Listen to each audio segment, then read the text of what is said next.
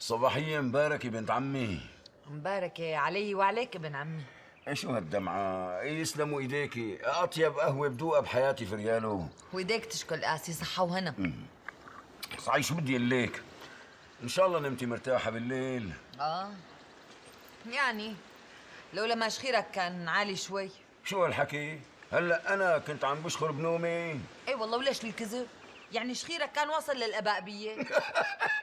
مو معقول. مو معقول شو حكياتك زراف يا بنت عمي. لا ومالي خبر. شو بدي أقول لك تاج راسي؟ قولي. يعني أنت عدم المؤاخذة ليش قبل هلأ ما تجوزت؟ آه يعني بتعرفي يا بنت عمي السفر والروحة والجية ومشاغل الحياة يعني كله بعدني عن إني كمل نص ديني بعدين نصيبي نصيبي ارجع لهون واتجوزك اليك كان بنت عمي من لحمي ودمي وما بحن على العود إلا شروق. بس دير بالك ابن عمي ما يقوم العود يبس.